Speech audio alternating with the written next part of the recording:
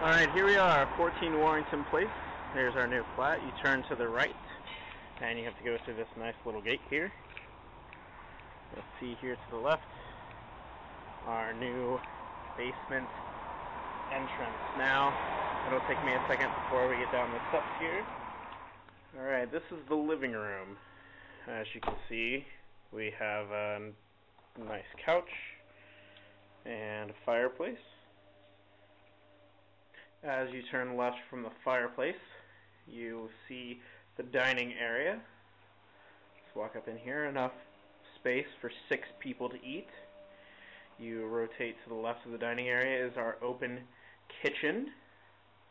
Back in the corner of our kitchen, you'll see our stove, our uh, refrigerator, excuse me, and our washer and dryer. All in one. Washer and dryer all in the same.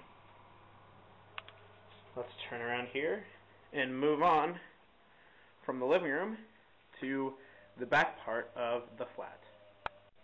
Alright, now we're entering into the back part. Once you come through the door, you're in like a little area over here.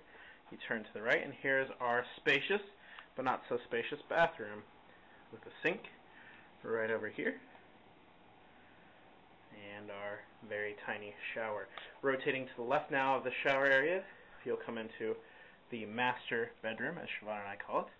Um, this also leads out onto the back porch area, and you can see what our view is. It's a neat little wall to the right of us, and some construction going on in the back.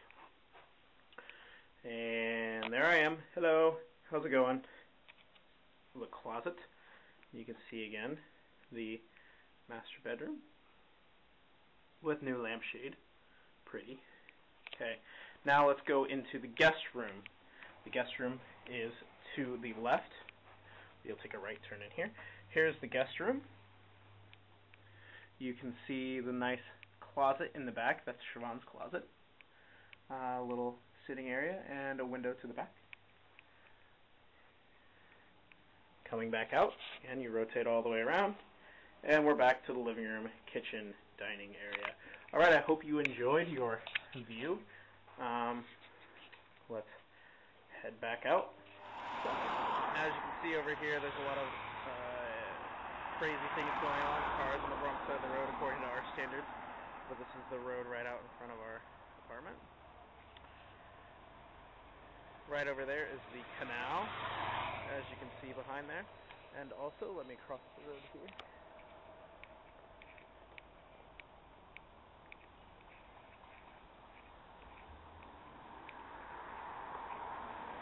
You can get a better view of the canal. This is the bridge, the Huband Bridge, or Hubin Bridge, I don't know how to pronounce it. That's right outside of our place, okay? So that's all you got.